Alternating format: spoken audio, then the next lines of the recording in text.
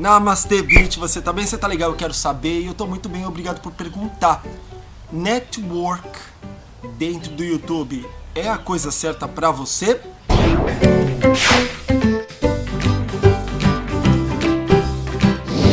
Ó, eu vou falar gritando com você. Talvez você ache até que eu seja uma pessoa esganiçada, mas acontece que a câmera tá muito longe e eu não quis usar microfone de lapela. Então o microfone tá lá na câmera e vai ficar desse jeito mesmo e tá bom, tá bom? Então tá. Então olha só, minha pergunta é sobre network. Você acha que network é uma coisa que você realmente precisa? Bom, gente, eu vou falar então sobre um problema que eu tive recentemente. Eu faço parte de uma network há mais ou menos um ano e, para falar a verdade, eu nunca tinha tido nenhum tipo de problema. Quer dizer, às vezes acontecia de ter alguma coisinha ou outra e eu sempre tinha uma dúvida e eu sempre perguntava alguma coisa para minha network. Porque não demorava muito eles sempre me respondiam, mas era sempre uma coisa simplesinha, não era coisas assim cabeludas, sabe? Pois bem, recentemente eu tive um problema muito sério com um dos meus vídeos. Aliás, um vídeo que eu tenho bastante acesso. Então é um vídeo que é bastante monetizado. Simplesmente uma produtora um dia mandou um comunicado para o YouTube dizendo que eu estava usando as músicas dela, que era de um artista e ela era dona dos direitos dessa música. Eu tinha certeza absoluta que eu podia usar aquelas músicas, então eu mandei um comunicado para o YouTube reivindicando dizendo que não, que eu tinha os direitos daquela música sim. Só que eu tinha feito um engano, eu tinha dito que eu tinha usado música do YouTube mas não era. Era uma música que eu tinha comprado de outro site que você compra e depois você pode usar músicas. Que aliás também é da network que eu participo. Olha só a coincidência. Reivindiquei, depois de algumas semanas a produtora me mandou uma resposta através do YouTube que ela não aceitava que aquela música era dela sim. Aí eu falei, bom, se já não tá dando certo, vou entrar em contato com a minha network, afinal de contas é para isso que eles existem, né? Aí eu mandei um recado, tudo bem educado, falei no povo, tive esse problema, esse, esse aqui que eu acabei de contar para você.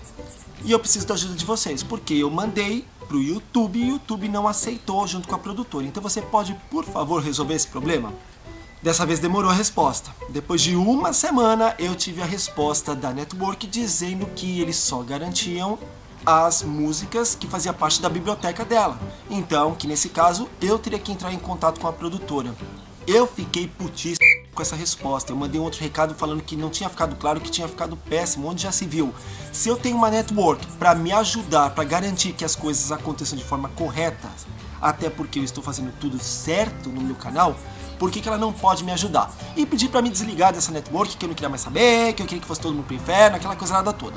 Fui super educado, não mandei ninguém pro inferno, mas fiquei com vontade. Aí mais, eu disse que ia fazer um vídeo metendo a boca, falando nome e tudo mais. Mas aí hoje, pensando bem, eu acho que isso não vale a pena. Não vou falar mal da network porque não vale a pena fazer divulgação para eles, até porque eles não me divulgam em nada. Aliás, isso é uma coisa que você tem que ficar esperto. Olha eu aqui abrindo aí, sendo prolixo no meio do assunto. Se você entra numa network pensando que eles vão te ajudar, que eles vão divulgar o seu canal, ó, Acorda pra vida, Alice. Saia do País das Maravilhas, porque isso não vai acontecer. A não ser que você tenha um canal muito grande, um canal com uma visualização absurda, eles não vão te divulgar. Pelo menos comigo nunca me divulgaram. Então tem toda aquela coisa lá de promessaiada, vamos divulgar seu canal, vai aumentar views e vai aumentar os ganhos e vamos solucionar problemas e não é nada disso. Na realidade, nada disso acontece. Mas é claro que eles também prometem veladamente, mas não prometem, né? Porque se você entra num fórum de discussão, tá lá, canais que divulgamos, mas não divulgam o seu. Não adianta, só divulga gente grande mesmo. Enfim, nem vou falar mal deles porque eu não estava esperando isso. Eu só estava esperando uma network para me ajudar caso eu precisasse. Aí voltando, fiquei p... pedi para me desligar da network, não consegui, claro. E aí você tem dentro do YouTube a possibilidade de se desligar da network. E foi o que eu fiz. Eu pedi para desligar. Depois de dois dias, eu descobri que não foi aceito. Então, esse botão em nada é a mesma coisa do YouTube, porque depende da network. Se ela não quiser te desligar, ela não te desliga e tudo bem. Aí eu pedi para cancelar de novo e vai ficar nessa palhaçada. Vou pedir para desligar, eles não vão aceitar. Vou pedir para desligar, eles não vão aceitar e vão ficar na palhaçada.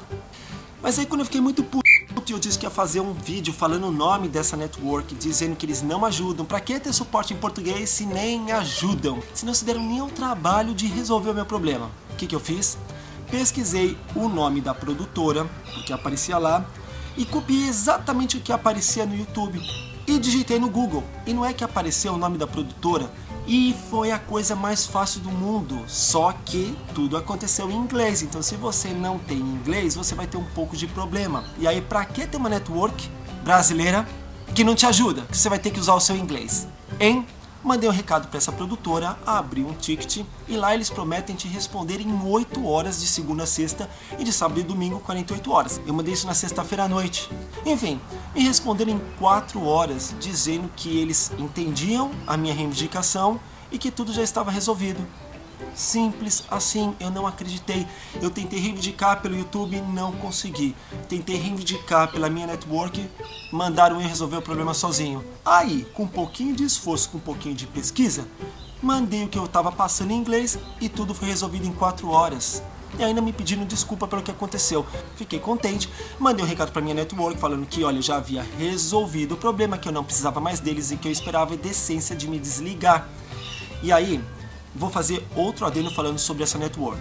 Apesar de achar que ela hoje não serve para nada para mim, porque ela não me ajuda em absolutamente em nada, eu tenho que falar que as pessoas que trabalham lá são pessoas extremamente educadas, pessoas extremamente cordiais, porque sempre que eu fiz perguntas antes, as pessoas que me atenderam foram muito educadas e muito solícitas, mas também estavam me respondendo perguntas bobas, né? Coisa que não influenciava em nada. E ainda, mesmo assim, com essa última atendente pedindo para que eu resolvesse o problema sozinho, eu tenho que admitir que ela foi extremamente educada. Ela não foi mal educada, muito pelo contrário, ela só não me ajudou. Só isso.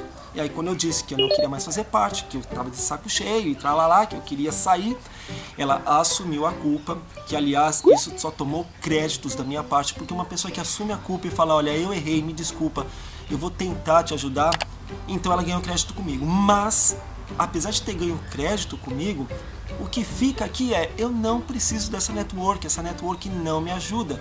Por mais que tenha havido uma falha, quando eu mais precisei, ela não me ajudou. E detalhe, eu sei que existem contratos diferentes. O meu contrato é 60-40, ou seja, do meu ganho do YouTube 60% fica para mim, 40% é administrado pela network. Eu não sei quantos por cento desses 40 eles pagam para o Google, AdSense e por aí vai. Mas 40% do que eu ganho sai da minha conta e vai para eles. Então, para que, que eu tenho que pagar 40% para uma network que não faz nada? que só me dá dor de cabeça, que me deixa passar nervoso e que no final das contas eu sei que eu só quero me livrar. Pra quê? Eu ouvi dizer que se você não assina com uma network, 30% fica pro Google e 70% para você. Então, para que assinar com uma network, sendo que você vai perder mais dinheiro e você não vai ter suporte? Pelo menos eu não tive.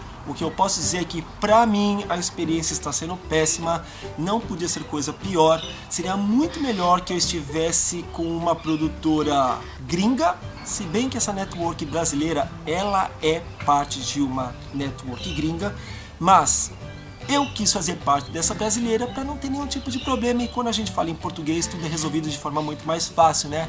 Mas não é bem assim porque infelizmente entrou brasileiro no meio para cagar tudo.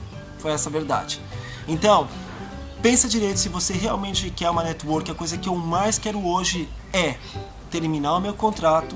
Eu vou ser paciente sim, como eu disse a ela. Eu infelizmente assinei um contrato de dois anos, então eu estou linkado com essa network. Enquanto isso, eu não posso sair dela. Enquanto isso, eles vão ganhar dinheiro às minhas custas, sem fazer nada por mim, sem me ajudar em absolutamente nada dizendo que fazem um monte de coisa e que inclusive te dão musiquinhas de graça. Ora, as musiquinhas de graça a gente tem no YouTube, então pra que, que eu vou usar a musiquinha da produtora? Ah, é diferente, todo mundo usa do YouTube. Usei a musiquinha da produtora, da network e ó, me... Entendesse, né? Abafa.